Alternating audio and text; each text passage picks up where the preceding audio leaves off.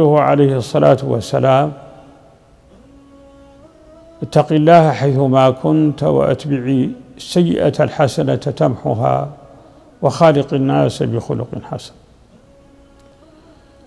الجزء الأول من هذا الحديث يتعلق بعبادة الله سبحانه وتعالى.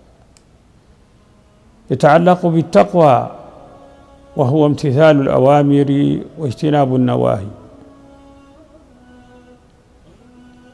من تقوى القلوب أن تذكر الله كثيرا وأن تسبحه بكرة وأصيلا.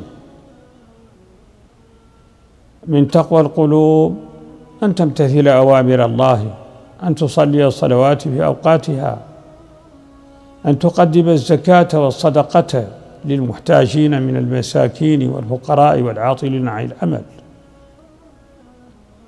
أن تصوم رمضان وأن تحج بيت الله الحرام. من تقوى القلوب أن تجتنب ما نهى الله عنه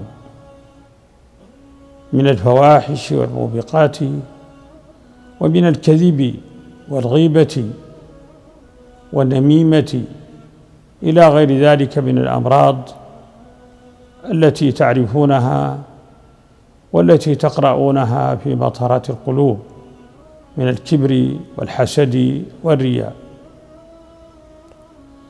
فعلاقته المؤمن مع ربه هي علاقة يجب أن يراجعها دائما وأن يكون حريصا على صحة هذه العلاقة. فإن من أحسن علاقته بالله سبحانه وتعالى أصلح الله علاقته فيما بينه وبين الناس.